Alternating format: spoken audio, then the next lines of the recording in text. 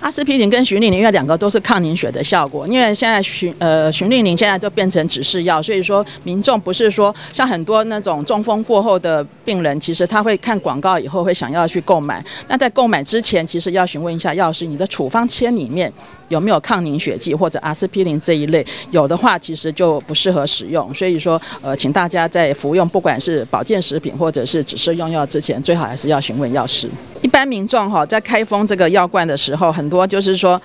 棉花，棉花哈。拿出来倒了一颗药之后又放回去，这是一个错误的动作，应该要把它丢弃。因为棉花如果再放回去的话，因为台湾气候潮湿，它会非常容易吸湿，会产生一些霉菌跟细菌的滋生，还有一些药物的变质。那严重的话，甚至有时候会引起一些过敏反应。然后你霉菌细菌的滋生，肠胃功能比较差的，你可能会造成一些呃肠胃症状的一些，比如说拉肚子这种问题。所以说还要呼吁，就是说大家在购买，就是说在开封以后这个药罐哈。